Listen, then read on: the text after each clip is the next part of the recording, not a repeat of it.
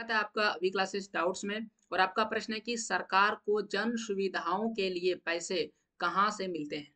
तो देखिए जन सुविधा का मतलब होता है सड़क बनाना, हॉस्पिटल बनाना, स्कूल बनवाना, या फिर राशन फ्री में वितरण करना, या सस्ती दरों में एक रुपया, दो रुपये किलो। तो ये सारी चीज़ें क्या है? जन सुविधाएँ हैं। जनता के लिए उपलब्ध कराई गई सुविधा को जन सुविधाएँ कहते हैं।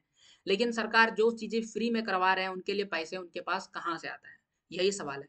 तो इस सवाल का जवाब हम लोग इस प्रकार से लिखेंगे कि सरकार की आय के विभिन्न स्रोत हैं जिन्हें कर से प्राप्त आय एवं विभिन्न आय में बांटा जा, जाता है। तो सबसे पहले तो कर है और भी कई प्रकार के भिन्न भिन्न आय हैं। सरकार कार्य करने के लिए विभिन्न स्रोतों से कर्ज भी लेती है तो कई सारे ऐसे स्रोत हैं वहाँ से कर्ज भी ले सकती है सरकारें वह भी सरकार की आय का हिस्सा होता है। तो कहाँ कहाँ से होता है? सबसे पहले तो उधार एवं अन्य देताएँ, यानी कि अगर सरकार किसी को उधार दिए हैं तो वह उधार को वापस ले करके क्या कर सकते हैं? वह सरकार काम कर सकते हैं, या तो सरकार खुद किसी बड़े बैंक से उधार लेकर के जन सुविधाएँ उपलब्ध करा सकते हैं।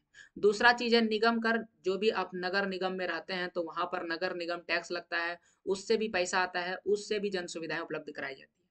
फिर आय कर ये जो इनकम टैक्स होता है, ये सबसे बड़ा सोर्स है। इसके अलावा सीमा शुल्क, जैसे बॉर्डर वगैरह पर अगर आप पार करते हैं तो वहाँ पर भी आपको टैक्स लगता है। तो ये जो बॉर्डर टैक्स है, उससे भी पैसा मिलता है।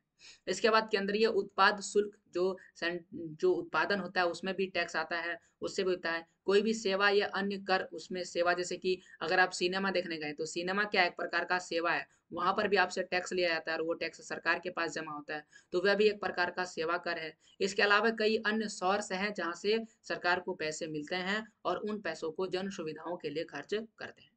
यह था आपके सवाल का जवाब। ऐसे और सवालों के जवाब के लिए चैनल को सब्सक्राइब